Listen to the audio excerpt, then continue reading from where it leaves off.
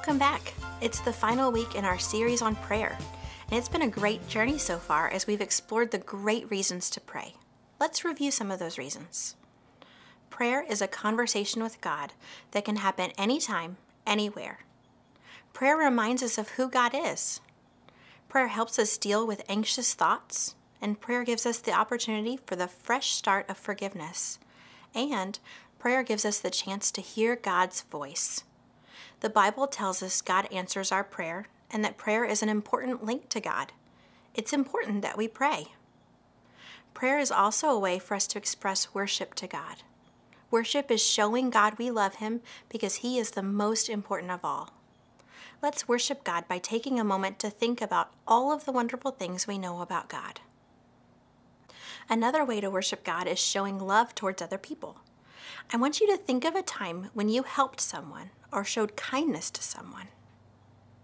Recently, I had a neighbor who had surgery and she couldn't take care of her family and have food on the table, so we just made a special meal at our house and brought it over them to help. There are so many people who need our help. We can do many things to help them, like giving food and clothing to the poor, or encouraging someone who's feeling low, or standing up for someone who's being bullied. It's important to keep doing those things. Those are important ways to share Jesus with others and to help other people. If you're already doing some of those things, don't stop.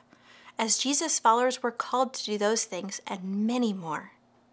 We've talked a lot about the benefits of prayer and how it helps us in our own little world, but did you know that prayer can also benefit others?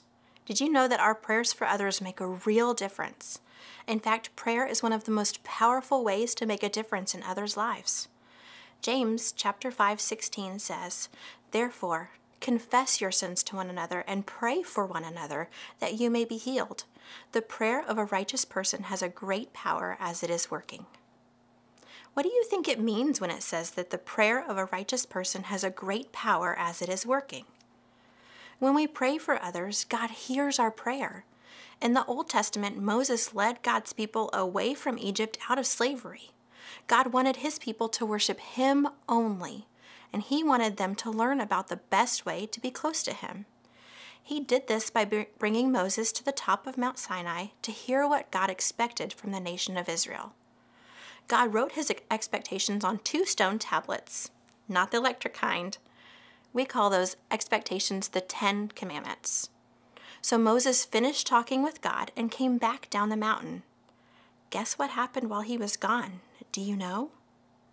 God's people became bored and restless, and they were losing their faith in their leader Moses and in God. They asked Moses' brother Aaron to melt down all the gold they could find in the camp and to build them an idol to worship. Aaron listened to them and did what they asked.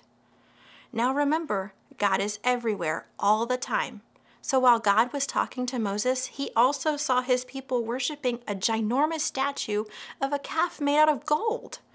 How do you think Moses and God felt about this? Yeah, they were angry. Exodus 32 9 through 10 says, And the Lord said to Moses, I've seen this people, and behold, it is a stiff necked people. Now therefore let me alone, that my wrath may burn hot against them, and I may consume them, in order that I may make a great nation of you. Moses could have said, Sounds good to me. I'd love to be a great nation. But he didn't. Instead, he had a conversation with God. He reminded God of all God had done to save his people.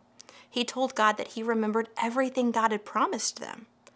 God decided to do something different because of Moses' conversation with him. That's right, God changed his mind about destroying his people. Now, there were still consequences for their terrible choices, but Moses' conversation with God made a difference. Remember back in week one of this series, we said prayer is a conversation with God that can happen anytime and anywhere? Moses had a conversation with God on a mountain that changed the course of history for these people. They weren't destroyed. I'd like to share with you a modern day example of how prayer for others can make a difference. There's been a time for me that I really struggled with not getting along with someone. And I prayed and asked God to change the situation and make it better.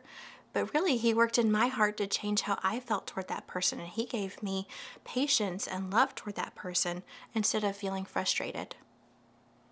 1 Timothy 2 1 outlines something we can all do.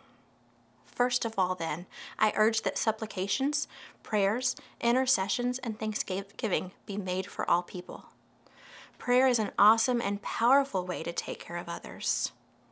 Who's someone you could pray for right now? Not only can we pray anytime, anywhere, but we can also pray for anyone. I have one last example to share with you from the New Testament in Acts 12. This person, Peter, was in an impossible situation.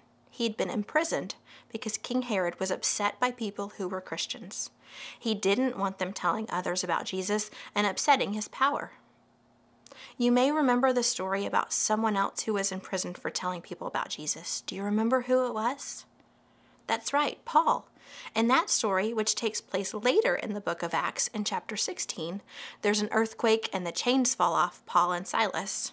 It's a little confusing to hear two stories about prison that are just a little different, so I wanted to make sure you understood that this is a different story with different characters. This is the story of Peter in prison for loving Jesus and telling others about him. When Herod saw how much this pleased the Jewish people, he also arrested Peter. This took place during the Passover celebration. Then he imprisoned him, placing him under the guard of four squads of four soldiers each. Herod intended to bring Peter out for public trial after the Passover, but while Peter was in prison, the church prayed very earnestly for him.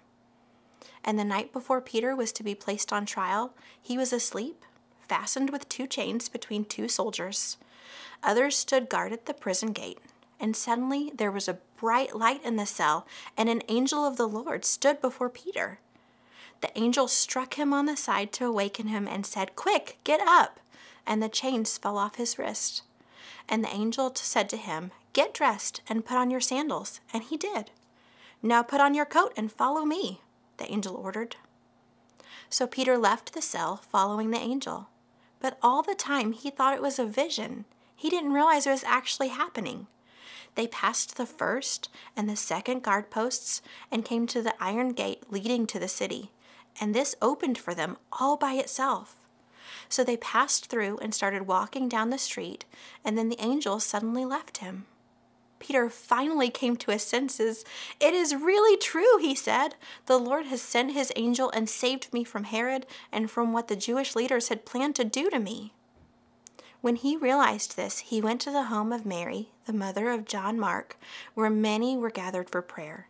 He knocked at the door in the gate, and the servant came named Rhoda came to open it.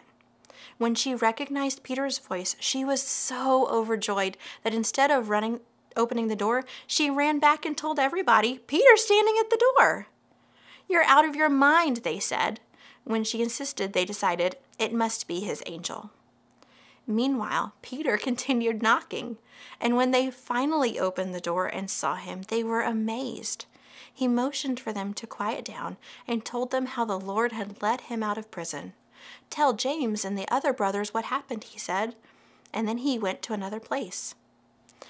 At dawn, there was a great commotion among the soldiers about what had happened to Peter. Herod Agrippa ordered a thorough search for him, and when he couldn't be found, Herod interrogated the guards and senten- sentenced them to death.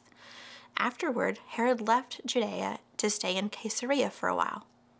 What a great story! The prayer of those in the church led Peter being freed from prison. What an awesome surprise to all of them. That day, Peter and his friends learned that prayer for others has powerful results. Why do you think God wants us to pray for others? In John 3:16 we see the answer. For God so loved the world that he gave his only son, that whoever believes in him should not perish but have eternal life. God loves all the people of the world and God sent his Son not just for a few of the people, but for all of the people. God loves people and he wants us to love and care for people too. If we become God's children by accepting his gift of grace, then we should love and serve all the people because God created and loves all the people. Praying for people is one way to show love for them. The bottom line is that praying for others makes a difference. And I want to encourage you to pray for someone else this week. Let's end today worshiping God in prayer and remembering worship is showing God we love Him because He is the most important of all. Let's pray. Father God, Thank you for hearing our prayers, for meeting with us and having a conversation with us. Thank you for reminding us how important it is for us to pray for others and that you hear our prayers and listen to what's on our hearts. God, please help us to remember to pray for others in our lives, our friends, our families, and even people we don't get along with as we go about our week. Amen. Thanks for joining me on this prayer journey as we have learned all the different ways we can worship God through prayer. See you next week. Bye.